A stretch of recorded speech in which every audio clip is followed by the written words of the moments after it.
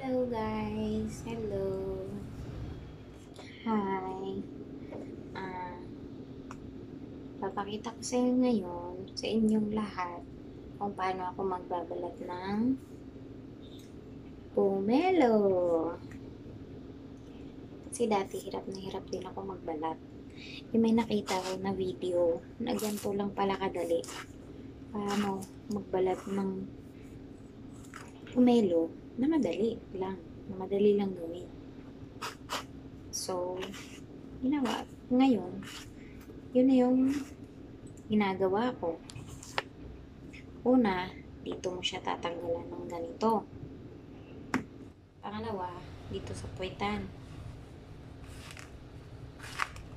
Tapos, hiwain mo siya pa ganyan.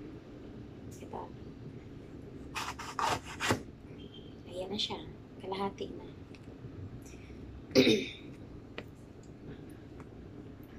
Tapos, ganyan mo siya. O, diba? O, see? Dali lang. Saka mo siya himay-himayin. Himay-himayin para kainin. Mm. Tamis niya, guys.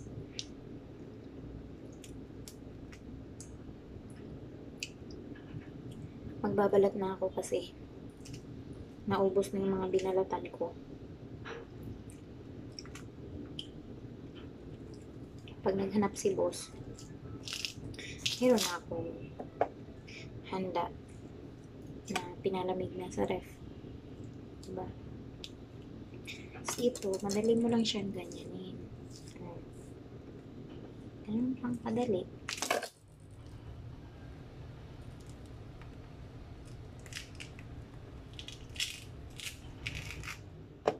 Tumatalsik pa siya, guys.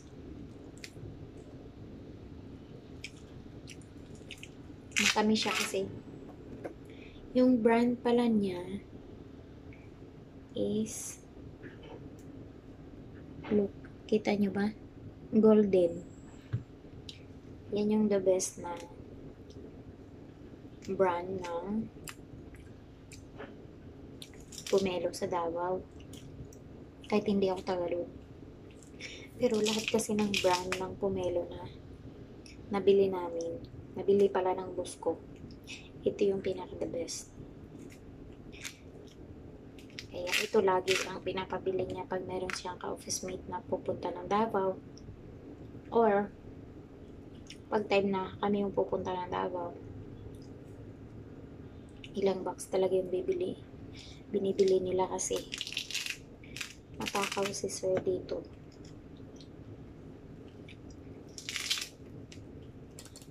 Kaya ni sir busin yung isang buong ganito. Isang buong pomelo. Pero kakain niya siya. Ayaw niya na siya yung nagbabalat. Kakain siya. Yung talagang kumakain na lang siya. Tapos na ang balatan. Ganito na. Yung subo na lang siya ng subo.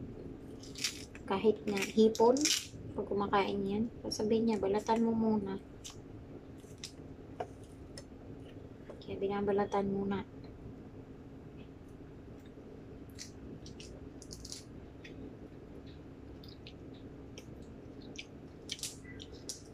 Pag nagtanong niya, yeah, Marge, may balat, nabalatan ka na bang pomelo?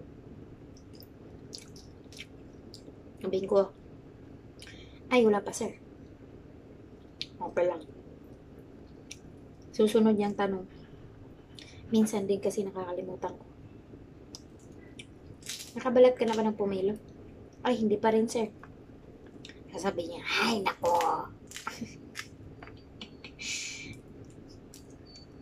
Magpalamig ka, tapos balatan mo na lang mamaya. Okay. Kaya ngayon, naisipan ko magbalat. Kasi, baka maghanap na naman siya. So, wala pa rin ako nabalatan. Diba? O, iubos na yung binalatan ko. Kaya sa inyo dyan. Ngayon, alam nyo na paano magbalat ng pomelo na hindi mahirap. Diba? Napanood ko lang din to, kaya sinare ko sa inyo kung paano magbalat ng madali lang. Hindi mahirap.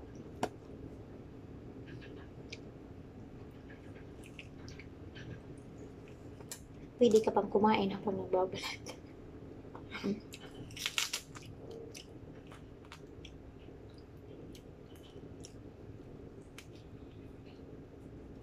Hindi ko alam kung kailan kami makakabalik sa Davao. Dalawang beses na ako nakabalik doon. Trip nila, ma'am. Una, sa office ni Sir yun. Pangalawa, kasal ng friend ni ma'am. Sa beach, ginanap kaya. Punta kami doon. Apat na araw ata kami doon. Ang, ang init-init ng pictorial.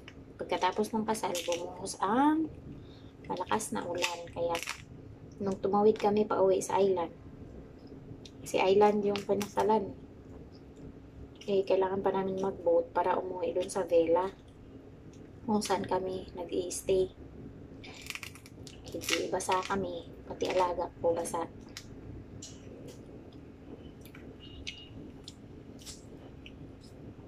Gabing-gabi na. Kawawa. Mura, para kami mga sisiw na nabasa sa ulan.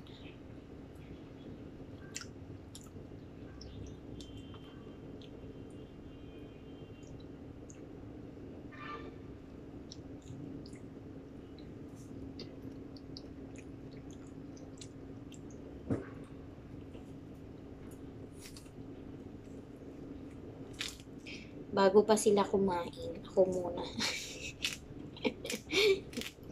'Di ba? Ganyan talaga pag ang trabaho mo na sa kusina. Bago pa sila makakain, ako muna.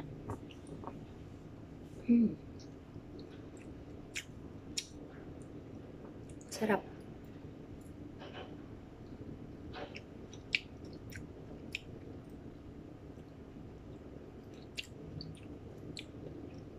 Diba? Hmm.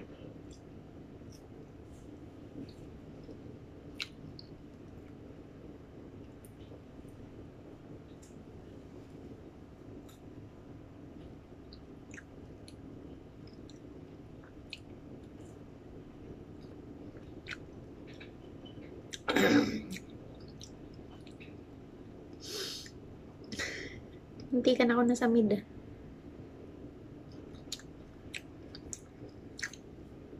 Bye guys. Sa uulitin.